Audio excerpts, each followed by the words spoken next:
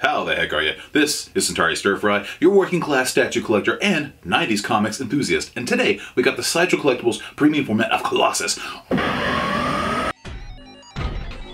Colossus, one of the hardest decisions I probably had to make recently as far as statue collecting goes, and I've been cutting back quite a bit, but I knew I had to have a Colossus. He's one of my favorites. I mean, it's like Scott Summers, Colossus, Wolverine, I had to have one of him. And I always liked the original version of him. I really did. Um, but he was like wearing mixed media. I like the pose, I like the sculpt. But he's wearing mixed media, right? So he had like these mixed media trunks on. And it always looked like maybe he just like wet himself during battle. Like he was wearing a diaper, like an absorbent material. But there were so many times, for years, for years, I was almost like, buy it now, buy it now. But I waited. I really liked the way this thing looked. I liked it. It was like a little bit closer. The costume's a little bit closer to his traditional costume. And XM's is just kind of like a weird, funky design. It looks great though. The base is awesome. Like, who knows? I'm still not sure if I made decision. This is the Sideshow version, and I thought it looked great. I think it's sculpted by Daniel Bell. I could be wrong. Who is it? Somebody like that. Kind of a boring box though. Here's the the uh, the chest design, like the belt X or whatever. This is the exclusive, so it comes with uh, Lockheed, which I don't care about. Bamf. One of my favorite big guys in Marvel, I always love the big characters. You know, Thor, Hulk, Thing. I like him. He's one of my favorites because he's like a gentle soul. He's an artist. And he's always just limited by his own uh, self-confidence. And a lot of times that's the only thing that holds him back. First appearance, well, punch him out! Giant Size X-Men, number one, 1975. First appearance of Colossus, Storm, Nightcrawler, Thunderbird. Anybody? When are they going to come up with a statue of that?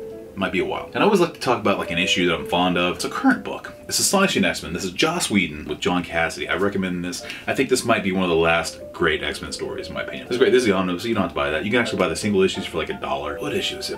One, two, three, four. Issue six. I think that is the return of Colossus. And boy, what a moment. It's nipple hard, man. It's glorious. Easy to find, easy to get. You can, you'll enjoy it. So let's get into this thing. I'm really excited about it. I've been wanting a Colossus for so long. Peter Rasputin, yes.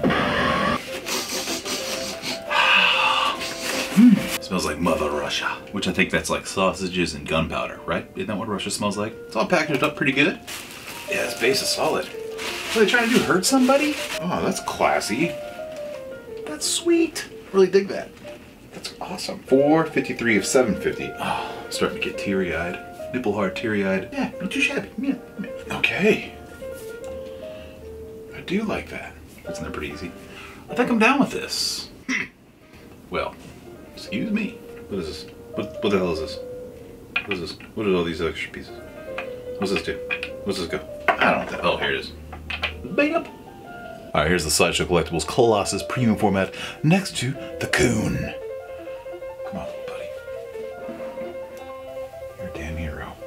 Colossus. Looking pretty cool. Looking pretty cool. At first, uh, my initial impressions of him weren't very high. It wasn't very high at all. Um, I just felt like he was like missing a lot of color and pizzazz and uh, spirit fingers, but uh, you know, I mean, it's grown on me. I mean, I've had it for a couple days now. I'm kind of looking at it, and I'm starting to like it a lot more. I like it. Now, there's certain things that there's some pros and cons. I would say overall, um, it's a good size. It's a great size. These fists are big.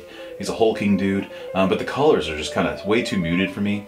Um, but I just love the anatomy and the sculpt. And I even like the base. Here's the base. It's very, very big. It's very, very heavy. I mean, this spiky little ball, this little coronavirus here is very, very heavy. It's solid. Let's see what it is. 13.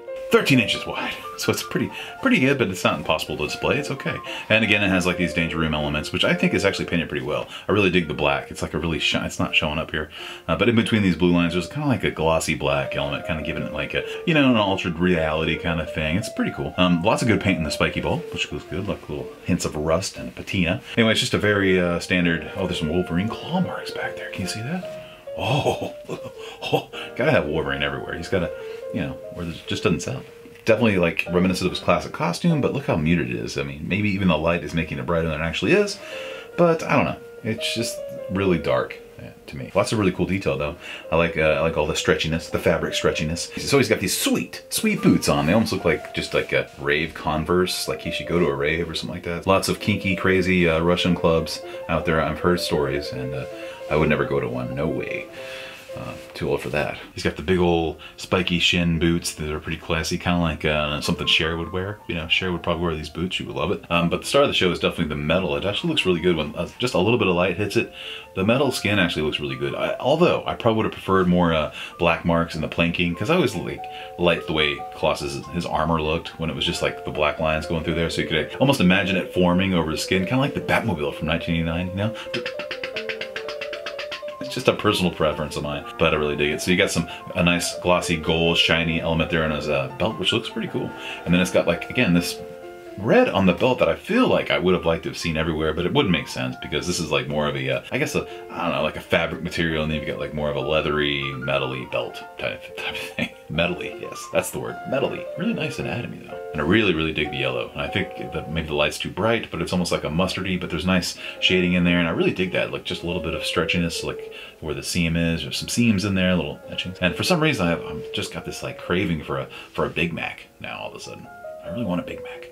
Come beside here, just more awesome anatomy. Like he's just hulking and big. I was worried about that. He actually, I think he's bigger than he appeared in all the like the Comic Con photos and everything. He does look big. These big Russian guns, man. You want to talk about Cold War?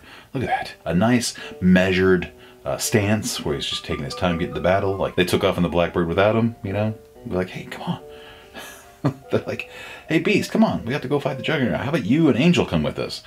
Where's the Colossus? Eh, we don't need them. And they left them behind, which is probably a dumb move. The armor plating is actually really cool. It really grows on you. Um, it's not bright, shiny. I don't think I'd want like a chromed out Colossus. The size of this hand is definitely large and in charge. Here's the difference in, in, scale. I mean, here's regular old Magneto. Sure, he's an old, he's an old hippie, but uh, he's got this hand. And this is Colossus is like, now look at this thing. Putin would be proud of that. And here's Peter's back. And here's Peter's back if that's what you're into. Perverts. Anyway, he's got really broad shoulders, just a giant freaking back. Just, he's stacked. He's, he's a freaking unit, I guess you could say.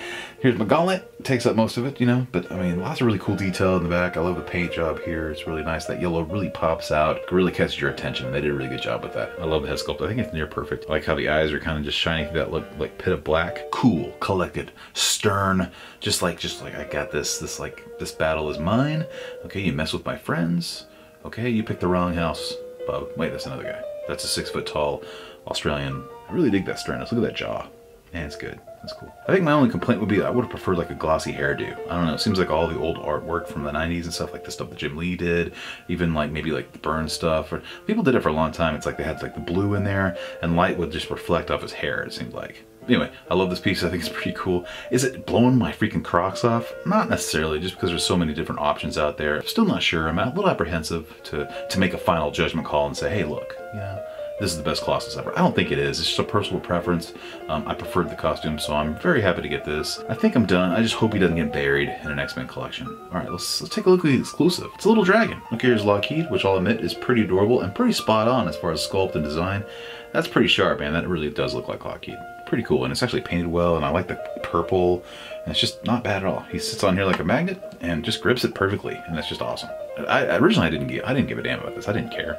But after opening up and looking at it, I was like, oh, I really it brought so many memories back. I was like, okay, I dig this. Not too shabby at all. I really like the way Lockheed looks. And it's adorable. Before we get out of here, a little size comparison with the Sideshow Rogue maquette and the Growing on Me. I'm starting to dig it. Colossus premium format, which I think is pretty cool. He's a keeper, I think. It's not blowing my Crocs off, uh, but overall, I really dig it. I'm pretty happy with it. I like the size, the girth. I hate that word girth. Do you guys like that word girth?